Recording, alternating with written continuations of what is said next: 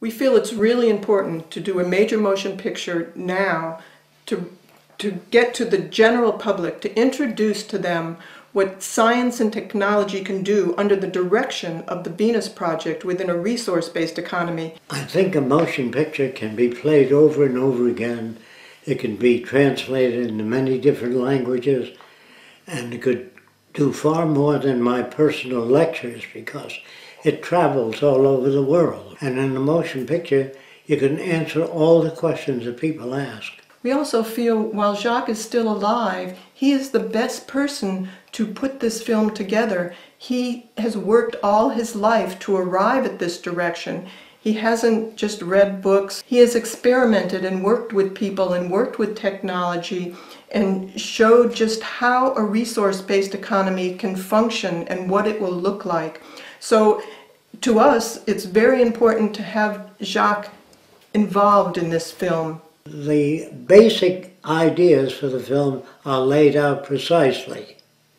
And uh, they are laid out in accordance with the plans of the Venus Project. If you don't have a public prepared to accept the Venus Project, there is no other way.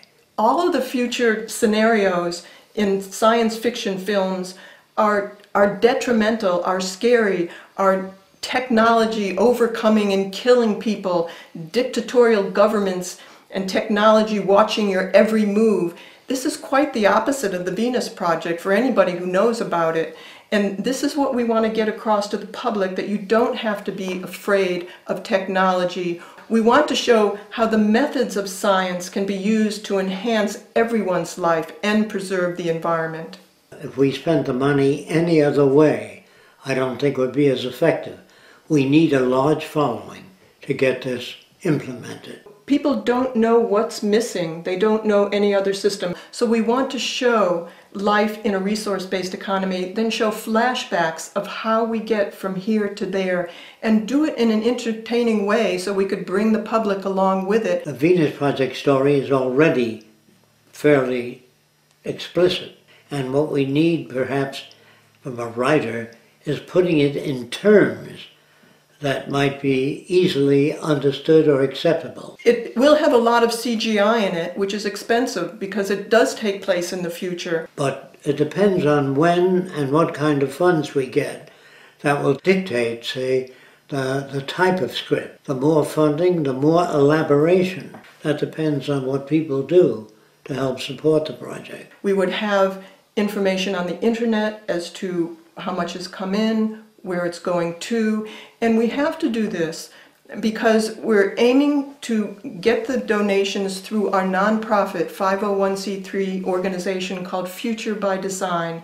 And lawfully, everything has to be transparent, and it would be. If we do make a profit, we will build the first city, or we will do additional films, shorter films, but many of. People will walk out of this film with a definite direction to work towards and knowing the difference between what they have today and the possibilities of the future within a resource-based economy. We want them to understand it so much so they'd walk out and say, why don't we live like this today?